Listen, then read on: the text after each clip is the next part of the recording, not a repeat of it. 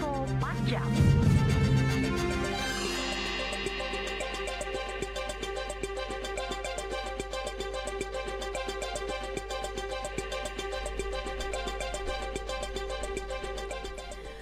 Pukul 9 waktu Indonesia Tengah, sahabat budaya 460 desa di Sulawesi Selatan terdaftar sebagai desa wisata calon penerima anugerah Desa Wisata Indonesia 2022. Kepala Dinas Kebudayaan dan Pariwisata Sulawesi Selatan Muhammad Jufri uh, mengatakan Adwi ini merupakan apresiasi kepada masyarakat sebagai penggerak sektor pariwisata dalam upaya percepatan pembangunan desa, mendorong transformasi sosial, budaya dan ekonomi desa. Penghargaan ini dimaksudkan untuk mendukung pemerintah daerah agar berkomitmen mengembangkan desa wisata di Sulawesi Selatan. Menurut Muhammad Jufri awalnya hanya mematok 300 desa namun hingga pendaftaran berakhir melewati target. Respons masyarakat khususnya desa-desa di Sulawesi Selatan diharapkan bisa memberikan efek positif khususnya yang uh, dalam peningkatan sektor pariwisata di daerah. Tahun lalu hanya 180 desa yang mengikuti ADWI 2021. Tahun ini meningkat, masyarakat sangat antusias untuk membangun desa wisata di daerahnya masing-masing. Mengenai desa-desa yang telah terdaftar tahun lalu dan Kemen Kemenparekraf telah membuat aplikasi aplikasi bernama Jadesta atau Jaringan Desa Wisata dengan tujuan menjadi database Kemenparekraf untuk melihat potensi desa wisata yang ada, sekaligus menjadi dasar pengambilan kebijakan dari Kemenparekraf. Demikian informasi pas jam saat ini.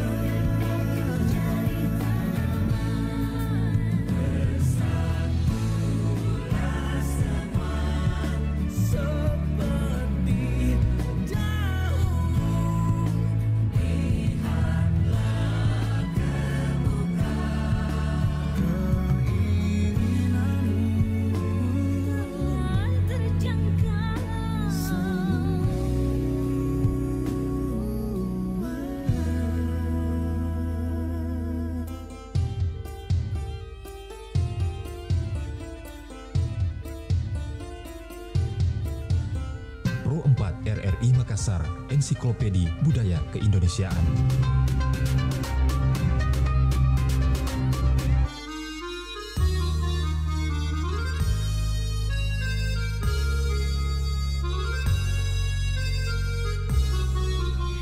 Baik sahabat budaya dan kita lanjut lagi di program acara Nusantara Pagi. Tentunya hari ini kita akan bekerja sama dengan uh, Balai Pelestarian Cagar Budaya Provinsi Sulawesi Selatan dan sebentar kami hadirkan uh, tema tentang pemugaran cagar budaya di wilayah kerja BPCB Sulawesi Selatan. Hadirkan dulu satu lagu berikut ini.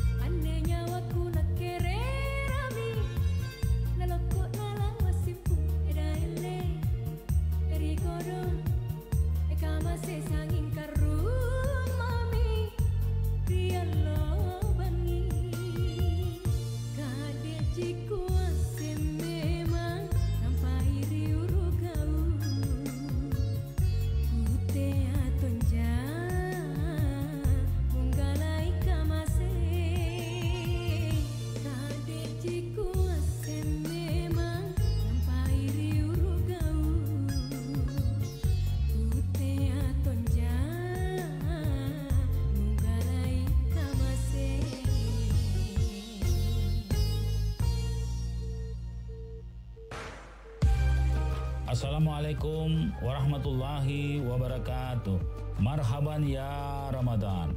Jangan jadikan puasa alasan untuk bermalas-malasan. Tetaplah menerapkan protokol kesehatan dan semangat menjalankan rutinitas kita. Saya Muhammad Ramdan Pomanto, Dani Pomanto, Wali Kota Makassar, mengucapkan selamat menjalankan ibadah puasa. Peduliki, salamaki, Wassalamualaikum warahmatullahi wabarakatuh.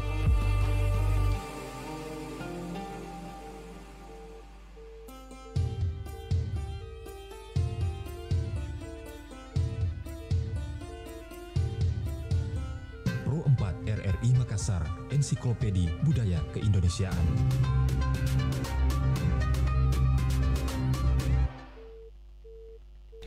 Ya baik sahabat budaya dan kita lanjut lagi di program acara Nusantara Pagi uh, tentunya bekerja sama dengan Balai Pelestarian Cagar Budaya Provinsi Sulawesi Selatan dan kali ini ada narasumber tak ini sahabat budaya ada Bapak Muhammad Tang SSM Home. Assalamualaikum Pak. Waalaikumsalam warahmatullahi.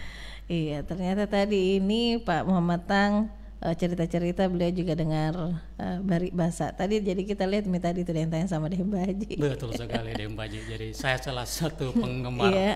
uh, uh, setia dari RRI Pro Iya, 2. Pro Tiap- 4 ya. Pro 4 tiap Iya, pagi. tiap pagi monitor dari rumah itu di Sudiang, Dari Pak ya. rumah. Iya betul Eh, sekali Dem Baji. menuju BPJB. Ah, tiap pagi pokoknya itu saya dengar pasti itu. iya, jadi eh, Pak Muhammad Tang ini eh, merupakan seorang arkeolog, pamong budaya, ahli muda di Balai Pelestarian Cagar Budaya Provinsi Sulsel.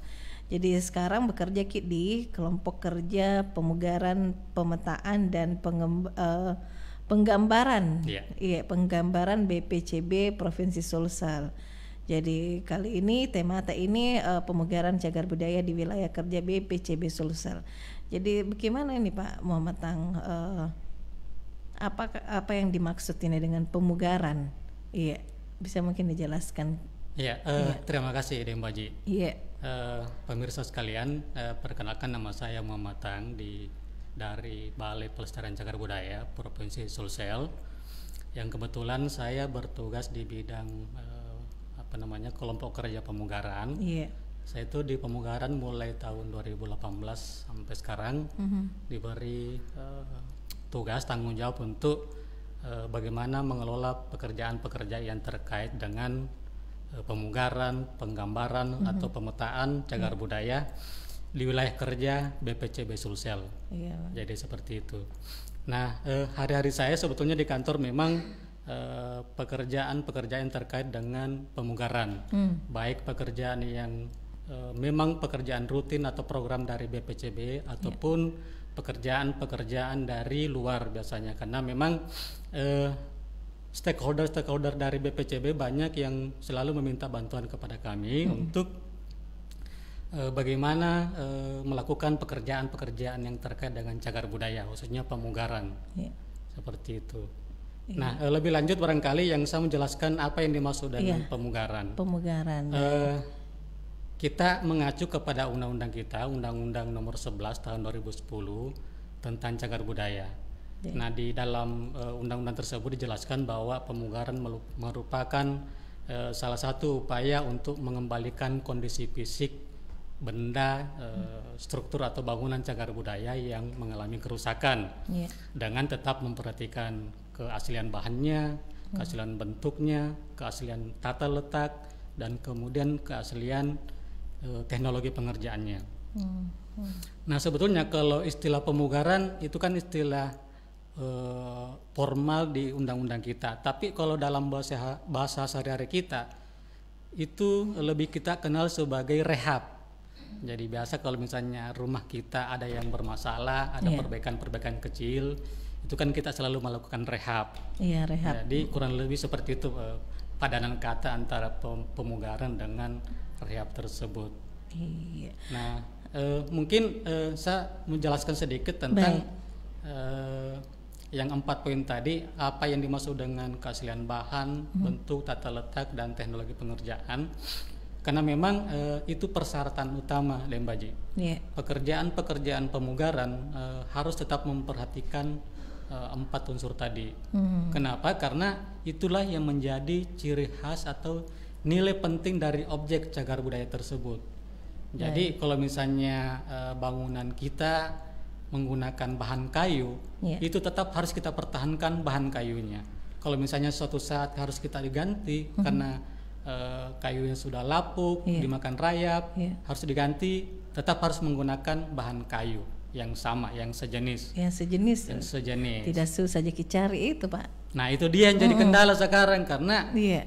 Eh, kayu kan sekarang sudah sangat terbatas Iya. bisa kita peroleh. Mhm. Apalagi kan bangunan-bangunan kuno itu kan rata-rata kalau ukuran sekarang ya Mhm. tidak menggunakan ukuran yang standar. Hmm. Misalnya balok-balok kaso itu kalau balok kaso sekarang kan balok 57. Tapi balok kaso yang tempo dulu tidak ada yang standar seperti itu. Ada yang 58, ada 69 Hmm. Dengan panjang berbe- berbeda-beda. Ada yang panjang 6 meter, 7 meter. Sementara balok sekarang rata-rata standarnya 4 meter.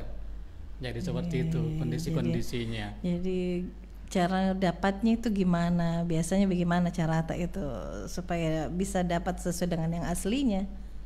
Ya, eh, jadi memang eh, pekerjaan pemugaran begitu eh, biasanya pada saat eh, sebelum dilakukan pekerjaan, memang kita sudah melakukan pengecekan-pengecekan di mana biasa kita peroleh eh, bahan-bahan kayu ter- tersebut. Karena eh, kalau bangunan kuno kan rata-rata dia menggunakan bahan kayu kelas 1 memang. Iya, Kalau untuk ukuran sekarang. Iya. Eh, biasanya kita pesan eh, mungkin jauh-jauh hari jauh waktu bisa tiga bulan bisa enam bulan sebelumnya kita pesan memang duluan karena eh, ya itu kan banyak faktor dan Iya, banyak yang iya. berpengaruh. Eh, waktu penebangan kayunya kapan tingkat kebasahannya bagaimana itu harus diperhitungkan semua Berarti di khusus Kamentong jadi untuk dipesan Betul ya Pak sekali, Muhammad bagi. Iya. Iya. Nah mungkin ada persyaratan khusus ini sebelum dilakukan pemugaran ini. Iya. Ya, eh, jadi memang pekerjaan pemugaran Hmm. eh, tidak serta merta seperti yang biasa kita lakukan di rumah, Iya. langsung kita kerja bongkar seperti itu. Ah, ya, jadi ada, persyaratannya. mekanisme, Iya. ada persyaratan yang kita harus lewati itu. Iya, baik. Nah, eh, pemugaran itu harus dilalui melalui kajian eh, kajian pemugaran namanya, Iya. melalui dua tahap, yaitu studi kelayakan dan studi teknis. Iya.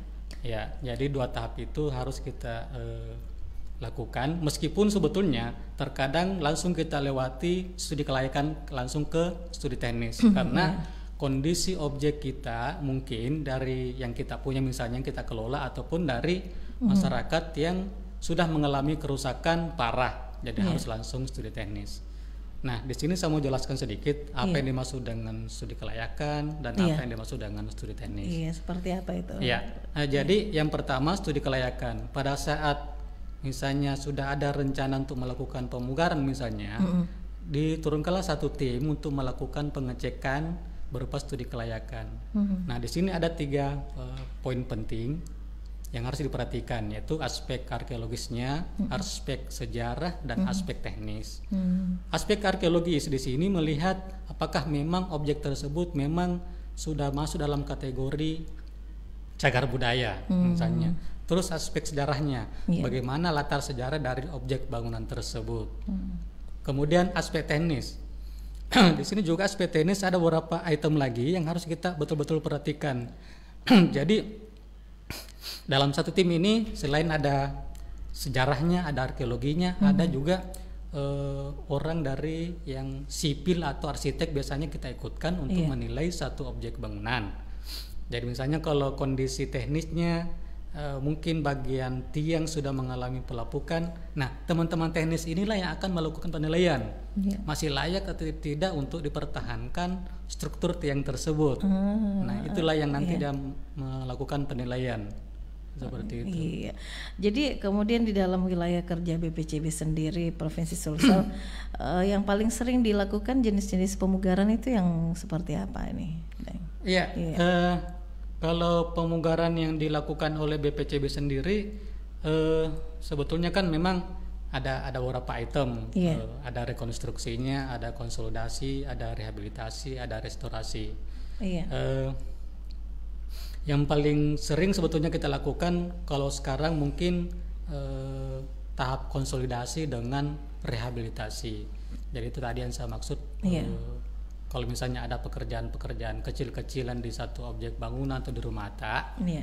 Ya paling misalnya rusak di bagian-bagian atapnya rusak Iya, rangkanya heeh. nah itulah yang dimaksud dengan rehabilitasi Oh, rehabilitasi. Iya, jadi melakukan perbaikan-perbaikan secara parsial Iya. itu yang dimaksud dengan rehabilitasi Iya, jadi yang paling sering dilakukan itu eh, rehab ya, Iya, rehab. rehab. Betul sekali, Mbak. Iya, Iya. Bapak Le, jadi Pak Mamatang kita akan lanjut sebentar. Kita kasih kelong dulu untuk pendengar tak. baik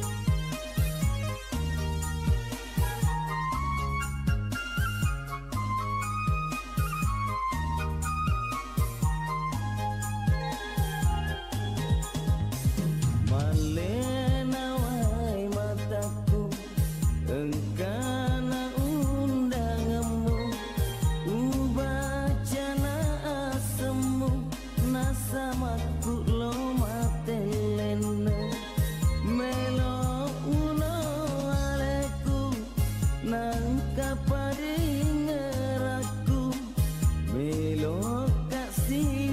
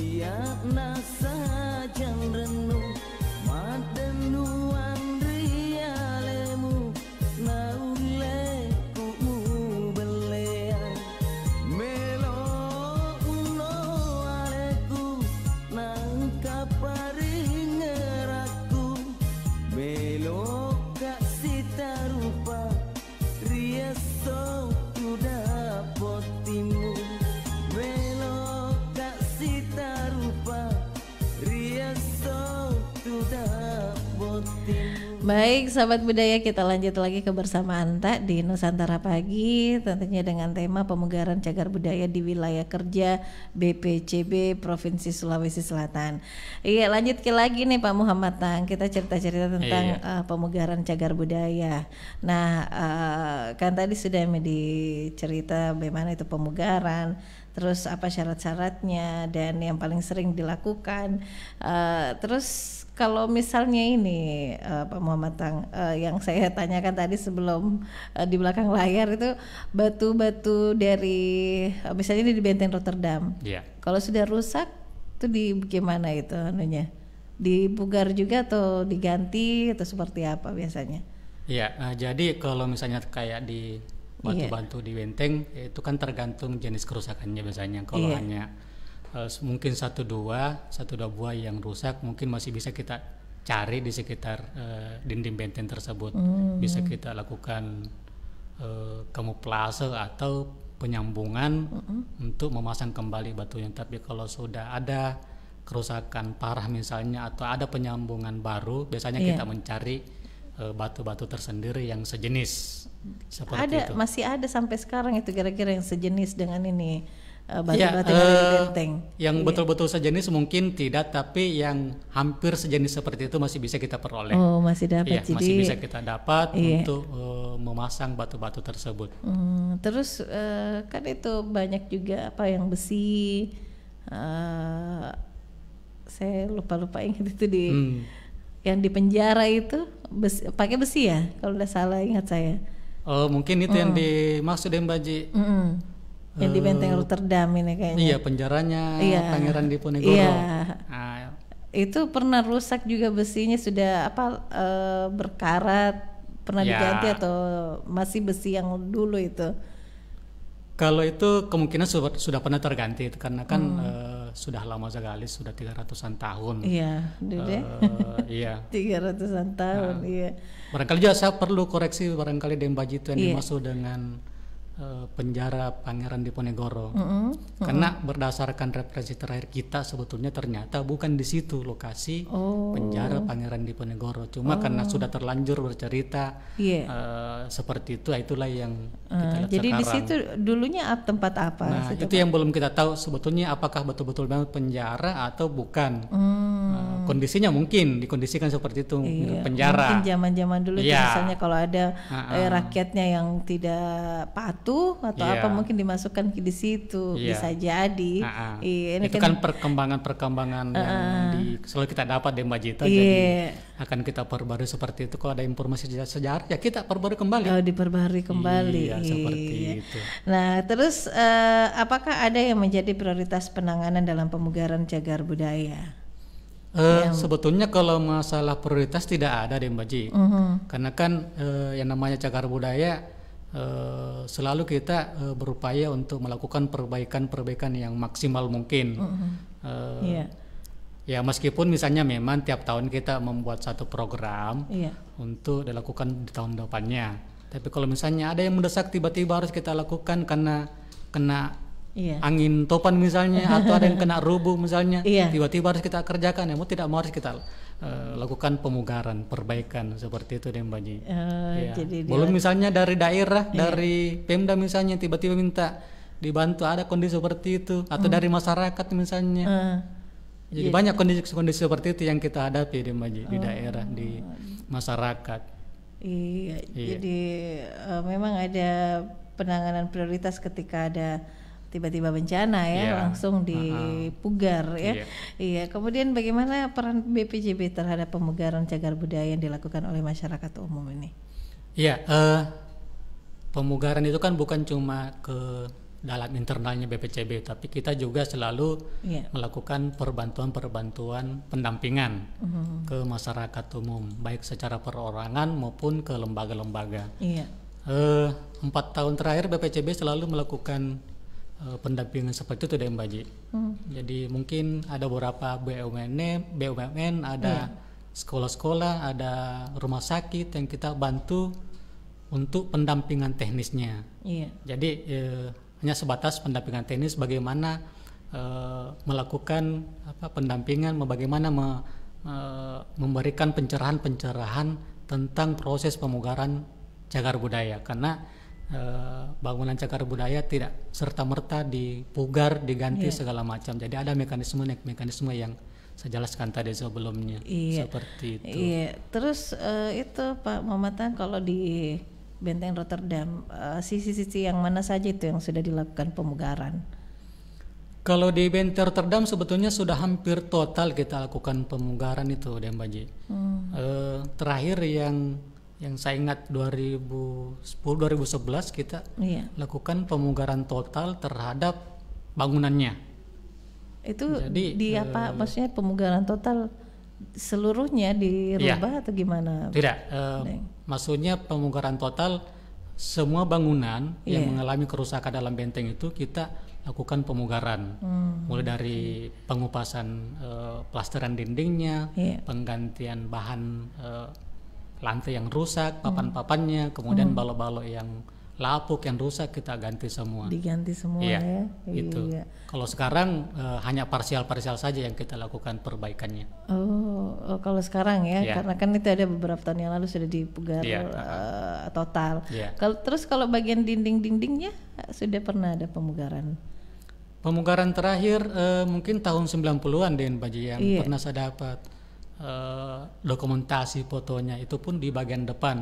Karena ada yang ada yang bagian dinding depan melesak keluar itu akhirnya eh, dilakukan pemugaran.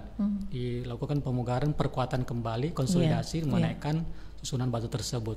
Itu yang terakhir yang data yang saya dapat tahun 90-an itu. Tahun 90-an ya. Iya. Jadi eh, biasanya kalau kita eh, adakan pemugaran ini Pak Muhammatang, Iya. Mungkin ada tujuan tertentu atau seperti apa tujuannya? Ya, eh, tujuan utamanya kan pelestarian cagar budaya. Pasti itu yang terakhir. Iya. Eh, tapi kalau yang pemugaran secara spesifik, memang Iya. bagaimana caranya kita supaya objek ini bisa bertahan lama, Hmm. bertahan lama bisa kita nikmati untuk anak cucu kita ke depannya, bisa memperoleh cerita Iya. bagaimana proses sejarah yang berlangsung di objek tersebut, Iya. karena punya nilai penting yang sangat kuat. Iya, jadi kalau Seperti tidak itu. di eh, percantik ya, dipugar kembali jadi akhirnya Iya. kurang bagus kelihatan ya, Pak ya. Iya, setidaknya ada eh, apa eh, betul-betul yang dari awalnya dari masa penjajahan dulu Iya. ya sudah ada. Jadi luar biasa sekali juga ini kalau kita mau pemugaran mesti pesan alat-alatnya itu dari sejak enam bulan ya. Iya, jadi memang agak Iya. agak kalau mung- mungkin orang selalu menilai ini pekerjaan cagar budaya, Iya. pekerjaan rewel. Oh, kenapa bisa dibilang? Karena begitunya deh Mbak Ji, Iya. eh, harus semua diperhatikan baik-baik semua bahan yang ada di objek bangunan tersebut. Hmm.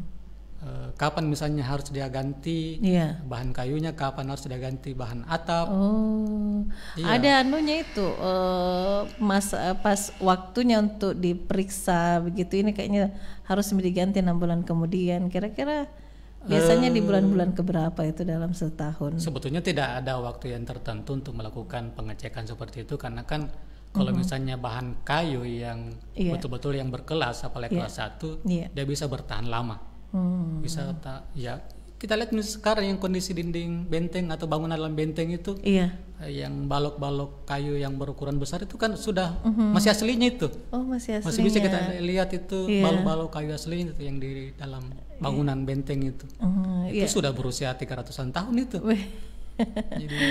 Oh, kayunya masih kuat ya pak ya. Iya, Ji. Iya, Ya, jadi lebih di kalau di benteng itu yang eh, yang mana yang sudah pernah diganti kayunya?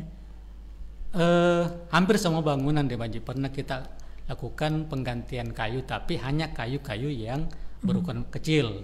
Kalau yang ba- balok kayu yang besar tidak Belum pernah ya. tidak kita ganti karena memang masih kuat Iya. dan serta bahannya yang agak agak sulit kita peroleh di lapangan. Oke, baik. Jadi memang itu yang dibilang tadi agak rewel gini. iya, ah, betul sekali. Iya, tapi eh, Pak Muhammad Tang ini eh, senang juga lakukan ini pekerjaan ya, Pak ya. Iya. Karena selain jadi edukasi juga, Pak ya. Iya, memang sebetulnya harus kita nikmati pekerjaan ini deh Maji karena selain memang tugas kita untuk bagaimana melestarikan cagar budaya kita Iya. ya memang harus kita nikmati Nikmati ya. Iya, Iya. ah, Oke deh kita kasih keleng lagi satu untuk pendengarta dan sebentar kita lanjut lagi di program acara uh, Nusantara pagi.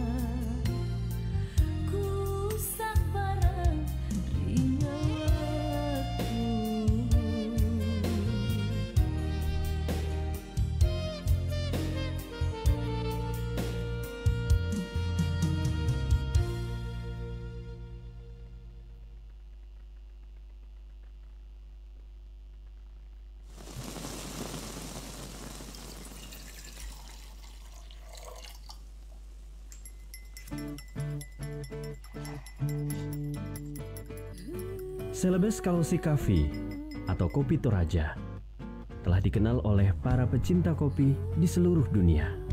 Kopi Toraja Kalosi memiliki aroma kopi yang spesial, yang khas dengan tingkat keasaman yang rendah, lembut, cita rasa bunga, dan buah. Kopi Toraja ditanam di area pegunungan berdampingan dengan aneka tanaman rempah dengan ketinggian mencapai 1400 hingga 2100 meter di atas permukaan laut, yakni di pegunungan Sasean dan ditanam di kawasan tanah vulkanik. Kopi Toraja memiliki bentuk dan ukuran yang tidak teratur dengan warna coklat tua. Pada tahun 2012, di salah satu event bernama The Second Indonesia Specialty Coffee Auction yang dilaksanakan di Surabaya, Kopi Toraja mendapatkan cupping skor tertinggi yaitu 86,29. Tidak hanya itu, kopi Toraja juga dikenal dan menjadi biji kopi paling diminati dan memiliki harga paling tinggi di negara Jepang. Bahkan, kopi Toraja jenis kopi Arabica juga dikenal dengan sebutan Queen of Coffee.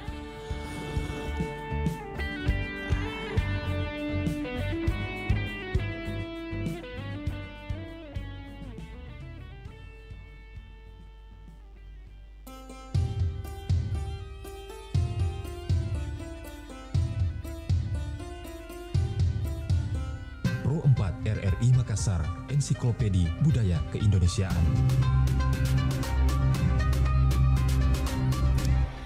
Ya baik sahabat budaya Anda masih bersama kami di program 4 RRI Makassar dan baik Pak Muhammad Tang masih ki, eh, menemani Ki ini dan eh, 10 menit terakhir ya Eh, kira-kira kendala apa saja nih yang paling sering eh, dihadapi dalam perencanaan dan pelaksanaan suatu pemugaran cagar budaya? Iya, eh, jadi Dembaji eh, yang namanya pekerjaan pemugaran pasti banyak hal-hal yang menjadi kendala, apalagi misalnya yang pemugaran-pemugaran yang eh, kita lakukan eh, di masyarakat atau dari instansi-instansi yang terkait, Eh, karena eh, mungkin karena kekurangan pahaman masyarakat tentang bagaimana sebetulnya mekanisme dari pemugaran. Terkadang mereka punya keinginan, ah mau ka- kasih cantik rumahku deh, mau ka- kasih cantik ini bangunanku. Nah, ada hal seperti itu yang selalu kita dapat eh, di di lapangan. Eh, jadi di situlah, di situlah sebetulnya peran kami, peran kita dari BPCB memberi pemahaman kepada masyarakat bahwa eh, bisa saja kita melakukan eh, perbaikan percantik bangunan, tapi ada batasan-batasannya. Apalagi misalnya biasanya di bagian depan bangunan dia melakukan eh, apa namanya penambahan-penambahan untuk mempercantik bangunan. Nah di situlah eh, kita eh, memberi batasan karena yang namanya eh, bangunan cagar budaya bisa kita lakukan penambahan Iya. tapi hanya terbatas di bagian dalam misalnya. Jadi di Maje kalau misalnya kita jalan-jalan ke benteng Iya. eh, ada beberapa bagian dalam benteng itu kita lakukan yang namanya adaptasi. Oh, Jadi bisa kita adaptasi. lakukan penambahan-penambahan tapi yang terbatas. Iya. Jadi misalnya mungkin yang bahan kaca seperti ini bisa lakukan penambahan seperti itu. Karena kan yang namanya eh, cagar budaya kita tidak bisa mengubah bentuknya, tata Iya. letaknya, ukurannya. Tapi eh, untuk kebutuhan masa sekarang bisa saja kita lakukan eh, penambahan yang eh, seperti yang saya bilang tadi. Seperti itu deh Mbak. Iya. Terus eh, kira-kira em, yang menjadi tantangan ke depan ini untuk pekerjaan pemugaran cagar budaya itu gimana? Eh, iya, karena memang yang jadi kendala utama kita adalah bahan sebetulnya di Mbak Ji. Eh, bahan yang saya maksud di sini di wilayah kerja BPCB Sulus itu eh, bangunan yang eh, yang kita pelihara sebagian besar menggunakan bahan kayu. Iya. Nah, kendalanya di situ karena eh, kayu-kayu semakin langka Iya. kalau untuk ukuran-ukuran eh, kelas 1 apalagi yang berukuran besar. Misalnya saja di Toraja juga yang bahan tongkonan yang menggunakan bambu. Di sana juga semakin berkurang eh, jenis-jenis bambu yang bisa dipakai untuk eh, Pemugaran ya. pemugaran di bagian atap. Iya. Nah, beberapa kasus misalnya eh, atapnya sudah menggunakan bahan atap seng yang harusnya dia menggunakan atap bambu. Itu penyebabnya karena keterbatasan bahan bambu tersebut. Jadi mungkin memang ke depannya harus ada eh, kebijakan bagaimana kira-kira untuk mengantisipasi kebutuhan-kebutuhan akan kayu terhadap bangunan cagar budaya. Iya, seperti itu. Oke, dan eh, apa saja yang menjadi solusi ini untuk eh, menghadapi kendala yang dijelaskan tadi? Solusinya gimana? Kalau saya dan Mbak Ji, satu Ji anuku, Iya. keinginanku Apa itu? lestarikan alam dan budaya kita. Ya, lestarikan alam dan bud- Iya, alam dan, budaya, kita. Deh. Karena kalau sudah lestari mi alam tak, insya Allah semua kebutuhan-kebutuhan yang terkait dengan bahan tadi bisa kita peroleh. Iya, jadi sudah terlestari. Iya. Singkat Seperti sekali, jadi harus dilestarikan ya segala. Iya. Jadi kalaupun eh, masyarakat, masyarakat umum yang eh, ke tempat cagar budaya itu harus eh, menjaga ya, menjaga kebersihan, menjaga jangan eh, merusak ya. Gimana ya Pak Muhammad Tan? Iya, saya kira eh, itu penting bagi kita, bagi masyarakat umum, pengunjung juga misalnya, eh, karena kan eh, BPCB mengelola beberapa tempat yang Iya. selalu menjadi eh, objek kunjungan wisata, misalnya Benteng Rotterdam, Iya. Leang-Leang, Sumpambita, di Sulawesi Tenggara juga ada yang di Benteng Keraton Mulyo, Sinja juga ada Benteng Balanipa, itu kan selalu eh, menjadi objek kunjungan wisata, kunjungan wisata sejarah budaya. Iya. Nah, mungkin memang harus eh, masyarakat harus menyadari bahwa objek tersebut sangatlah penting dan harus kita jaga bersama. Kalau hanya kami menjaga mungkin tidak bisa DMPJ. Sama-sama iya, jaga. harus harus ki bersinergi tahu wah, masyarakat juga jaga sambil eh, ada dari pihak BPCB yang selalu melestarikan eh, tempat-tempat cagar budaya.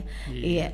Begitu eh, kebersamaan tadi Pak Muhammad Tang SSM Hum ini di program acara Nusantara Pagi tentunya temanya itu pemugaran cagar budaya di wilayah kerja BPCB Sulawesi Selatan. Terima kasih kehadiran Tak. Mudah-mudahan nanti eh, ketemu lagi Jangki. Eh, ini di Pak Muhammad Tang dengar terus kisah saja Promba. Ah, insya Allah selalu saja di penggemar pasif, penggemar pasifnya. pendengar pendengar pasifnya Iya, pagi Iya, kalau ada eh, kita mau nimbrung juga komentar, telepon Meki. Yang penting terkait dengan cagar budaya boleh boleh iya Pak Dendi terima Iya, kasih kebersamaan Ta dan besok kita masih bersama-sama dengan BPCB tapi dengan tema yang berbeda Assalamualaikum warahmatullahi wabarakatuh dan selamat pagi Waalaikumsalam.